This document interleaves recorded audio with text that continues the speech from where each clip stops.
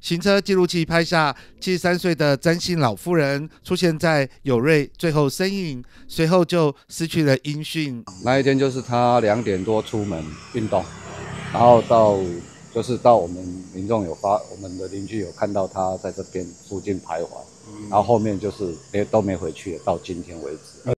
詹姓老妇人二十八号下午两点多从七毒友瑞家里出门，戴着斗笠，穿着红橘色背心，两手还拿着自制拐杖，要出门运动。妇人走到华西一路有亮桥，随后就消失在镜头中，一直找不到。我们附近的都可以找，都已经找过。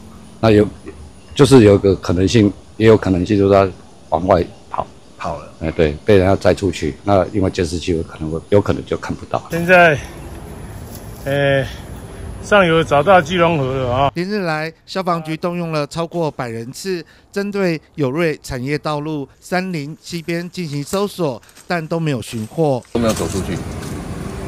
是调到没有出去吗？嗯，调到隔隔天的九点多十点，没出去。啊，伊较早要定来去山顶去静坐吗？伊一礼拜才行去做啊，我拢行来底。夫人失踪，家属仍不放弃。消防局大队长高琼瑶、警察局副分局长许耀斌及派出所主管张文德，针对周边地形在进行研判。虽然已经超过了黄金七十二个小时救援时间，但消防局表示会安排人力协助搜救。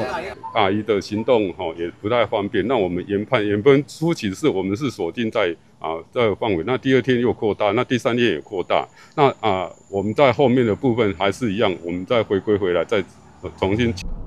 由于七毒友瑞山区腹地广大，日夜温差大，家属和搜救人员全力搜救之外，也向神明请求帮忙，希望能够尽快传来好消息。记者黄少明这种报道。